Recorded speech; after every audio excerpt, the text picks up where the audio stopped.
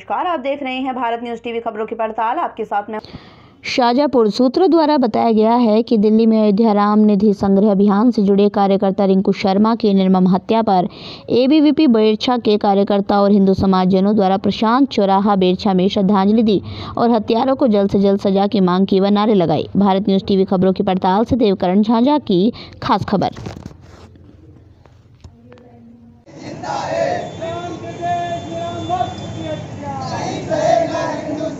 राम विदेश में राम भक्त की हत्या। हिंदुस्तान भारत माता की जय। मयंक। भारत माता की ना। भारत माता की ना। तो फ़िलहाल की बड़ी खबरों में बस उतना है लेकिन आप कहीं जाइएगा नहीं बाकी की तमाम छोटी बड़ी खबरों से जुड़े रहने के लिए देखते रहिए भारत न्यूज़ टीवी खबरों की